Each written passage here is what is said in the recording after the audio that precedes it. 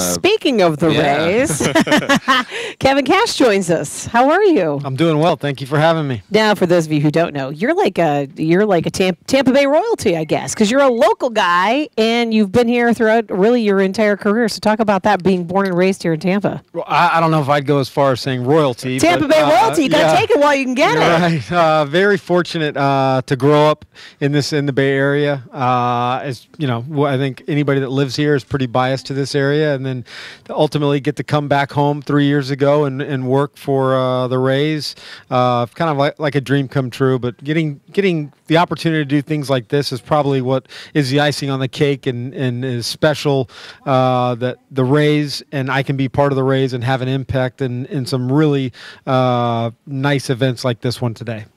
How about as far as like playing, and then uh, you know the playing career coming to a close, and thinking of when when was it? I guess as you were still playing, or maybe as as the career was ending, when you started thinking about getting into coaching and then being manager. Well, the, the highlight of my career was when my playing career came to an end. That was a good thing. Uh, you know what? I didn't really have any aspirations of uh, of doing anything other than just staying in the game of baseball. I didn't know where that was going to take me, but I was so fortunate to get to work and be around some great managers, some great coaching staffs, and then it just kind of uh, molded from there and, and had some really good opportunities along the way, and then pro- obviously came into the best opportunity here three years ago.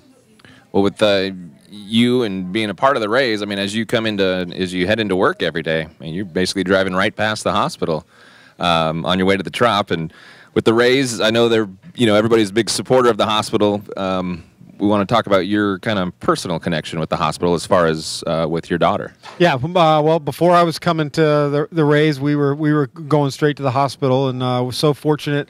Uh, my wife and I's oldest daughter, Camden, uh, was born with a heart condition, um, and spent plenty of nights, more nights than what we wanted to be here. Uh, but just the hospital, uh, it wasn't John Hopkins at the time; it was all Children's. Uh, it was remarkable how they treated not just her, but our family. And uh, you know, we've got a very, very healthy, beautiful 11-year-old daughter that's uh, in fifth grade and getting ready for Christmas. Yeah, and there's so many great organizations. I mean, the Rays support so many different organizations here in the Tampa Bay area, and that's what it's all about. You guys do a fantastic job at that. But this hospital is something special for the team and for you guys as well, right? Just because of that connection, right? But you guys choose your time and resources here at John Hopkins. I, we, definitely do. And if you look throughout the course of the season and even during the off season, you'll notice we, have a, a bunch of players that come over here on a on a you know throughout a homestand. Just come visit, say hello, see if they can do anything to put a smile on uh, a patient's face or the family's face. And uh, you know they show that throughout our games uh, on the jumbotron. Uh, Brian Auld and Matt Silverman, our two presidents, are tremendous in the community and uh, know that we can have a huge impact with our platform of playing baseball. You you just mentioned your daughter being involved with the hospital here, and as kind of reading some notes here, um, they're kind of involved too. I was just kind of checking out a couple things of the being shopping helpers and volunteering here. So, um, you know, we've seen a lot of families that. Uh, obviously, the kids go through it and they become volunteers. Uh, but to get the kids involved and for her to be involved after after being here, you know, kind of talk about that a little bit. Uh, it, it means a lot. I mean, the, the last two years we've been able to participate in the uh, Santa's Helpers, where uh, basically they set up as kind of the elves, and they're taking the families that are staying in the hospital.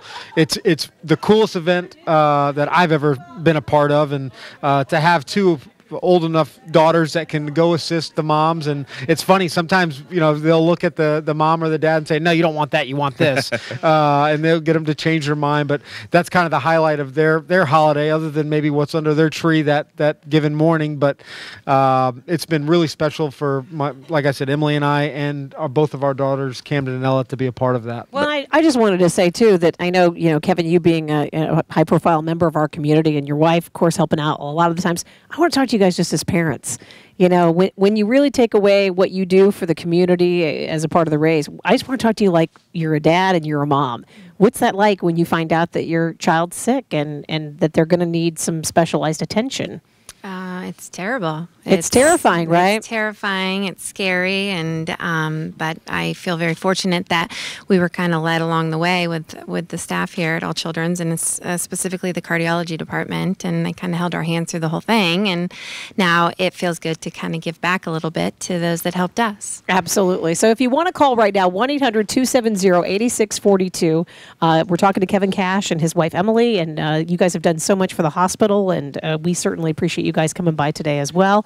What would you tell other people? They're in the car getting ready to head home. It's Friday afternoon, and boy, every dollar counts, Because right? they'll, they'll listen to royalty. They will. They will- they- Tampa they'll royalty. They want to Yes. know what Kevin Cash, you know. listen, listen when you talk. The phone's back there. So if you could tell anybody anything, it really is pretty easy to give, right? No, it is, and uh, you know what? If if you've uh, have have had the the experience of being here with a, a family member or a child, your own child, uh, it, it becomes that much easier. Uh, but like you said, every dollar does help. It goes a long way, and uh, you know, having the opportunity the last couple years to walk through these hospitals and and know uh, that, that how appreciative everybody that works here, and then you know, first and foremost, the patients are of anything that we can provide.